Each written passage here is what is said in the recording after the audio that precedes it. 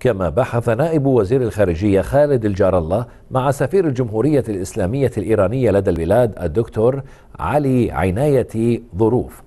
أو عفوا علي عناية ظروف اعتقال المواطن فالح العزمي وحث الجار الله السفير الإيراني على بذل المزيد من الجهود لدى السلطات الإيرانية المعنية لضمان سرعة إطلاق سراحه وعودته إلى أسرته سالما.